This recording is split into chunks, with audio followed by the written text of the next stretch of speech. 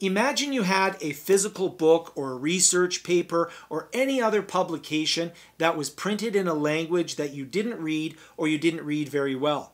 For example, this book is printed in German and in order to read this, I would have to go and get a dictionary and look up every word, or I'd have to try to find an English copy of this book and do a page by page comparison. That could become very tedious.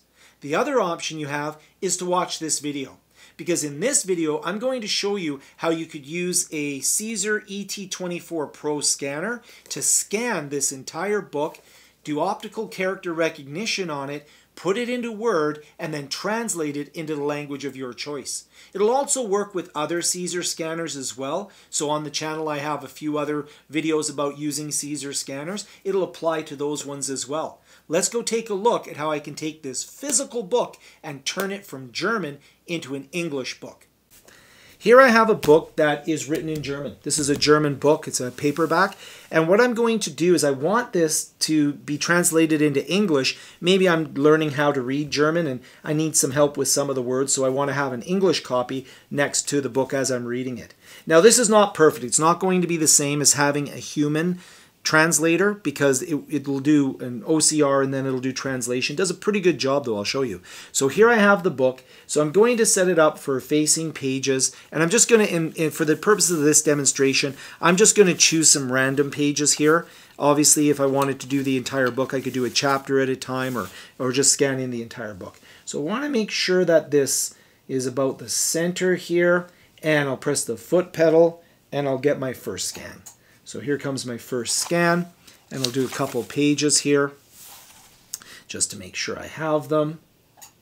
Grab another couple pages. I'll just do six pages here as opposed to the entire book, but you'll get the idea. You could do the entire book. Set that aside. So now what I'm going to do is I'll turn to the software here. We'll allow it to finish the processing of those scans and the separation of the pages. So if I double click on a page, you can see that here's the preview of the page. It's a nice clean page. It's all in German though, and I'm still I'm still learning to read German. What can I do? So if I go back here, I'll go back. Here are the pages that I've just scanned. I'll select them all. And then what I can do is I can choose Word with optical character recognition. This will now create a Word document in German though, because it'll be German. Now if you don't see German here, I have German here because I've already added it as a language, but you have a whole bunch of different languages that you can add for OCR here. In my case, I already have German installed, so I'll choose German. I'm also going to go with a page size I could modify. I'll just go auto. And then in terms of image processing, I can choose whether I'm going to do auto adjustment. I'll just keep it auto auto. Now, here's one thing that's a bit of a gotcha. I can only do Word 97 to 203 with this software. So I'm going to confirm that I'm going to do that and then I'm going to give this a name and we'll call this uh, Old King Book. That's roughly what, what it translates to. And I'll store that on my desktop because that's where all the people store their files. You'll notice that it's now processing the output. I chose just six pages to keep this demonstration fairly short. Once it takes those pages in, it'll do OCR on all six of those pages. If this was a two, 300 page book, this could take some time. So I would either move it to the background and continue doing some other work or just step away for a while while it processed. Once it's processed, I now have a Word document in German. So now I'll go here and double click it and you'll see that it'll open up Word. Now in Word or in Windows, I also have to have the language pack. So it'll prompt you if you don't have it if you're using a different language.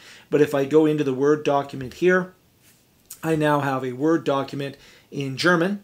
So you can see here, this is my Word document in German. So if I go through, I can see all of the pages are here, and I've got the Word document in German. It prompts me to translate it, but it actually won't work. If I choose to translate it now, it actually won't work. What I need to do is go to the file here, and underneath File, I'm going to do a Save As.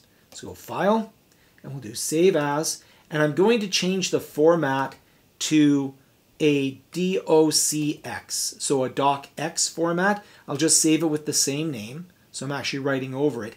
Now that I've got it as a DocX, I can go into my, believe it's under review, and underneath review, I can go into, let me see here, underneath language, underneath language, I can go into translate. Now, what it will do is I'll translate the entire document. It's only six pages. And then it'll ask me, do you want to auto-detect the language go to English? I could choose German here. So if I go underneath here, I could choose German. And if I did not have German installed, it would prompt me to install the German language pack. I do have German installed. And then I'll go German to English and we'll do a translation. So now it'll go through and it'll translate this document into English. And then if I go in and have a look at the results here, you can see I now have this translated into English. Now, I want to clean up the scans before I do this sometimes because you can see the OCR kind of had some issues on the first page. But here you go. So here's the second page. Got a nice clean scan of that. If you were to read this, it will be a little bit strange. So for example, uh, this says family, but you know, so you can go through and you can you get a rough idea, well, more than a rough idea, you can get a pretty good idea of what's being uh, said on the page, but you can see that instead of in German, it's now in a English format.